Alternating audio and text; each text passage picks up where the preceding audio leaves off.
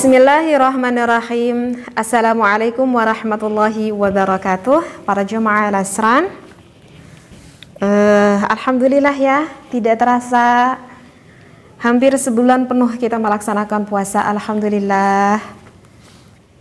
Sekarang ke penghujung bulan. Kita menunggu beberapa hari lagi Insya Allah Allah memberikan kita umur Mudah-mudahan ya Kita bisa sampai kepada Idul Fitri dan Allah memberikan kefitrahannya itu kepada kita semua. Allah ya Allah ya Rabbal Alamin. Amin ya Allah. Nah, apa nih yang pengen dibahas? yang pengen dibahas itu sebetulnya banyak juga sih yang bertanya, teh gimana nih kalau misalkan ketika pada malam Idul Fitri, ketika bapak-bapak ataupun laki-laki itu hendak pergi ke masjid untuk melaksanakan takbiran. Eh, ini masih bapak teh gitu ya. Ataupun laki-laki ini tuh misalkan malakah melakukan berhubungan dengan istrinya. Aduh, saya itu rasanya gak enak banget misalkan hatinya. Gimana itu boleh gak sih kalau misalkan pasangan suami istri uh, yang ketika pada malam takbiran uh, melakukan berhubungan seperti itu. Nah, sebetulnya udah sering kan saya terangkan bahwa kalau kita mau melakukan berhubungan antara suami istri itu mau kapan saja itu kan boleh kan? Kecuali pada waktu dan juga uh, saat-saat yang memang diharamkan dan mungkin tak perlu saya terangkan lagi ya karena sudah sering kan saya terangkan apa apa saja sih yang haram e, dilakukan bagi pasangan suami dan juga istri. Nah, seperti itu. Tetapi memang kalau saya lihat di dalam kitab Qurratul Uyun ya, ini ada di dalam kitab Qurratul Uyun. Qurratul Uyun itu karangan e, Muhammad Tahami ya di dalam Quratul Uyun itu ada penerangan yang diterangkan oleh uh, ulama sufi ataupun ulama tasawuf yang bernama Imam Ghazali.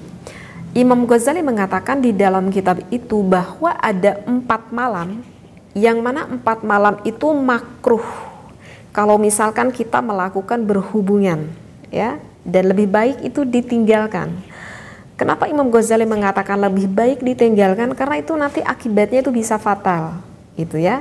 Ini yang dikatakan ataupun yang disampaikan oleh Imam Ghazali. Maka malam apakah saja itu wahai ulama? Maka menurut Imam Ghazali mengatakan yang pertama itu adalah pada malam Idul Adha, kedua itu adalah pada malam Idul Fitri, ketiga itu adalah pada malam setiap. Nah, ini setiap nih. Setiap awal bulan ataupun setiap tanggal 1 pada awal bulan. Ya, berarti ini setiap bulannya dong. Iya, setiap bulannya pada tanggal satunya ataupun pada awal bulan setiap bulan. Tetapi yang dihitung di sini itu adalah bulan Hijriyah, ya, bulan Islam, bukan tahun Masehinya, bukan Januari Februari ya, tapi ini Ramadan Syawal gitu ya, bulan Hijriyah. Nah, yang keempat yang lebih baik kita tinggalkan tidak melakukan pada malam itu adalah setiap pada tanggal pertengahan bulannya ya. Jadi awal bulan dan juga nisfu syahrin pada pertengahan bulannya. Nah menurut Imam Ghazali itu lebih baik ditinggalkan dijauhkan karena ada e, bisa mengakibatkan fatal kata Imam Ghazali. Nah maka kalau misalkan saya bacakan uji dulu ya deh ya referensinya ya saya bacakan referensinya ada di dalam kitab Qurratul Uyun. Di sini katakan Bismillahirrahmanirrahim. Akhrajahu rahimahullah annal jima'a bahwa sesungguhnya kalau pasangan suami istri melakukan berhubungan itu yumna'u itu dilarang. Fi hadhil lailatil arba'ah di empat malam ini di antaranya di antaranya lailati idil adha di antaranya pada malam idul adha. Kenapa? Lima qila min annal jima'a fiha yujibu kaunal waladi safikan lid dima'i jadi menurut Imam Ghazali, kenapa sih kalau pada malam lebaran itu lebih baiknya kita nggak melakukan hubungan itu? Itu dikarenakan menurut Imam Ghazali dikhawatirkan, nah, bahasanya dikhawatirkan ya, dikhawatirkan kalau pada malam itu misalkan menjadi anak Uh, jadi kalau misalkan menjadi anak, jadi dikhawatirkan itu takut menjadi anak pada malam itu. Karena kan kalau misalkan mau jadi anak kan kita nggak tahu yang jadi itu pada malam kapan, pada saat kapan kita kan nggak pernah tahu. Nah, yang dikhawatirkan oleh Imam Ghazali itu udah dikhawatirkan pada malam Lebaran itu takut menjadi anak. Ya emang kalau menjadi anak itu Emang kenapa? Nah, kata Imam Ghazali mengatakan bahwa kalau sampai menjadi anak, dikhawatirkan nanti anaknya jadi anaknya itu nanti akan senang berkelahi, senang berantem. Bahkan sampai senang-senangnya berkelahi berantem, bahkan sampai bisa mengeluarkan uh, apa itu ya? bisa sampai menghilangkan nyawa orang. Nauzubillah summa naudzubillahi min dzalik. Dikhawatirkanlah uh, seperti itu menurut Imam Ghazali. Dan uh, tipe orang seperti ini itu biasanya mentalnya itu yang sering mudah stres, yang sering mudah panik dan kalau misalkan eh, nggak uh, punya keimanan itu dikhawatirkan naudzubillah bisa sampai menjadi gila. Nah, berarti ini uh, yang disampaikan oleh Imam Ghazali seperti itu. Lantas Imam Ghazali juga mengatakan bahwa lebih baik pada awal bulan uh, ataupun pada pertengahan bulan lebih baik jangan dulu deh istirahat dulu deh kata Imam Ghazali. Kenapa Imam Ghazali mengatakan seperti itu? Dikarenakan itu ada hadis yang mengatakan la tujami'u lebih baik kita tidak melakukan uh, berhubungan suami istri itu ra'sal lailati syahri pada awal bulan pada tanggal pertamanya awal bulan wa nisfi dan juga pertengahannya. Kenapa? Wa yuqalu inna syayatina yujami'una fiha. Karena di dalam hadis itu mengatakan bahwa ya dikhawatirkan nanti syaitan itu ikut nimbrung bareng sama kita ketika pasangan suami istri sedang melakukan hal itu. Nah, itu adalah yang menjadikan alasan ataupun landasan kenapa sih Imam Ghazali menghukuminya makruh seperti itu. Tetapi ah ini nih yang mendengarkan, ini harus sampai tuntas mendengarkannya ya. Jangan sampai diberhentikan dulu karena nanti takut pemahamannya itu uh, jadi salah nih pemahamannya. Tetapi ini saya belum selesai ini menjelaskan. Tetapi nih gimana yang teh itu Imam Ghazali kalian tahu bahwa Imam Ghazali itu adalah seorang ulama sufi, seorang ulama tasawuf. Ya sehingga pantas dan wajar lah ya karena namanya juga ulama uh, sufi ya yang begitu uh, banyak sekali melakukan ibadah sehingga uh, menghukuminya itu adalah makruh. Tapi kan teh tidak semua orang itu uh, bisa seperti Imam Ghazali misalkan. Atau kok misalkan di dalam satu sewas saya bayangin ya, saya bayangin, misalkan aku ini pengantin baru, misalkan. Aku pengantin baru, aku tuh nikah misalkan ketika bulan Ramadan, itu kan namanya pengantin baru. Nah, bisa kebayang nggak pada jamaah al-asran semuanya yang namanya pengantin baru kan?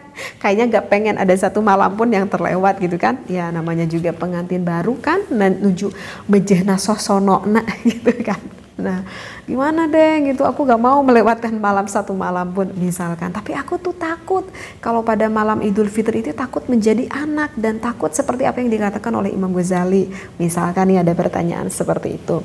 Ataupun misalkan ada satu situasi, satu kondisi, misalkan seorang suami yang mana uh, pulangnya misalkan satu bulan sekali. Nah, misalkan pulangnya satu bulan sekali dan ketika pulang itu misalkan pada malam lebaran, wajar gak kalau misalkan suaminya itu sonok banget gitu ya, kangen banget gitu sama istrinya. Wajar gak ya? Kalau menurut saya sih itu wajar banget gitu ya. Bayangin udah sebulan gitu nggak ketemu sama istrinya dan pulangnya adalah ketika malam lebaran seperti itu. Lantas aduh gimana dong? Aku lagi pengen punya program punya anak dan takutnya menjadi langsung jadi anak. Aku takut seperti apa yang dikatakan oleh Imam Ghazali. Nah gini ya. Ketika saya melihat referensi yang lain, saya lihat di dalam kitab Tuhfatul Minhaj, ya ada nih penjelasan yang lebih jauh di dalam kitab Tuhfatul Minhaj. Ada seorang ulama yang mengatakan riwayat ini dari Ibnu Hajar. Ini yang disampaikan oleh Maksud saya yang disampaikan oleh Ibnu Hajar. Jadi hadis yang disampaikan oleh Imam Ghazali tersebut itu hadisnya tidak sabit. Itu yang dikatakan oleh Imam Ibnu Hajar. Jadi kalau misalkan dikhawatirkan ketika kita berhubungan badan antara suami istri kemudian setan ikut nimbrung gitu ya takut ya ikut nimbrung bareng kita sehingga uh, sulit menjadikan mempunyai anak yang salih maka menurut Imam Ibnu Hajar jangan lupa aja setiap kita mau melakukan berhubungan untuk berdoa dulu kepada Allah. Jadi intinya seperti itu kalau menurut Imam Ibnu Hajar. Jadi kalau menurut Imam Ibnu Hajar nggak apa-apa mau kita lakukan pada Idul Fitri, Idul Adha, mau awal bulan, mau tengah bulan, itu setan gak akan ikut bareng kita.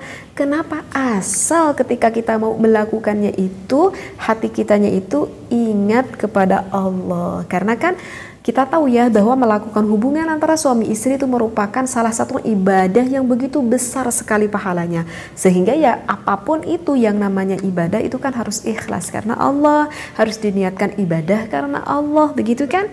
Sehingga kalau kita ya bismillah dulu, ya maka insya Allah setan itu gak akan ikut bareng sama kita sehingga wahai untuk para suami istri kalau mau melakukan berhubungan jangan lupa baca dulu doanya ya seperti itu. Jadi jangan sampai langsung langsung aja gitu. Jangan. Allahumma jannibi syaitana wa jannibi syaitana ma razaqtana. Baca dulu doanya. Yang itu yang pendek aja welah doanya. Aduh sama yang pendek juga meni susah hafal lah teh. Misalkan gak apa-apa. Kalau misalkan gak hafal yang pendek juga udah masa bismillah gak hafal ya? Udah baca aja. Bismillahirrahmanirrahim. Gak diucap kan pun gak apa-apa. Misalkan di dalam hati boleh gak di dalam hati pun jadi jadi dalam hati aja ya mengucapkannya. Dan kalau uh, terkadang mengingatkan gitu sama suami kadang bisa lupa bismillah gitu ya ataupun suami yang mengingatkan pada istri gitu kadang bisa lupa bismillah dalam hati. Aja bismillahirrahmanirrahim. Udah insya Allah syaitan itu gak akan ikut bareng berhubungan sama kita seperti itu ya. Karena Eh, kenapa Imam Ghazali berpendapat seperti itu? Ya wajar. Karena kan Imam Ghazali itu adalah seorang ulama ahli sufi, seorang ulama ahli tasawuf. Ya sehingga Imam Ghazali cing atuh merenya hari malam lebaran lebaran teuing mah istirahat heula sakali mah gitu ya. Masa bapak-bapak lagi pada uh, pergi ke masjid untuk melaksanakan takbiran, eh ini mah gitu ya. Ya misalkan kalau Imam Ghazali bisa bahasa Sunda kayaknya ngomongnya kayak gitu gitu ya. Jadi cing atau sekali-kali teuing istirahat hela gitunya talakbiran hela jika bapak-bapak anu sejen ke masjid takbiran seperti itu.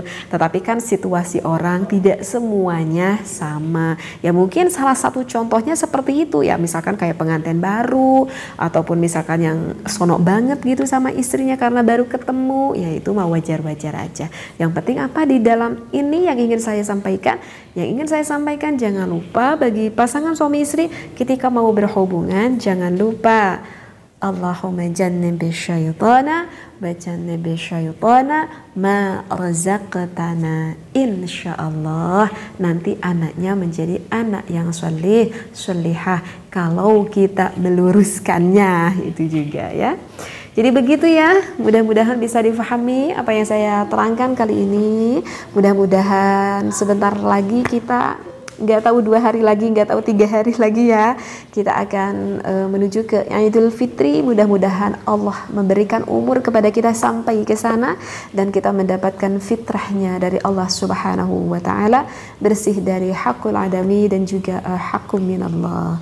Wallahu a'lam wa billahi taufiq wal hidayah. Wassalamualaikum warahmatullahi wabarakatuh.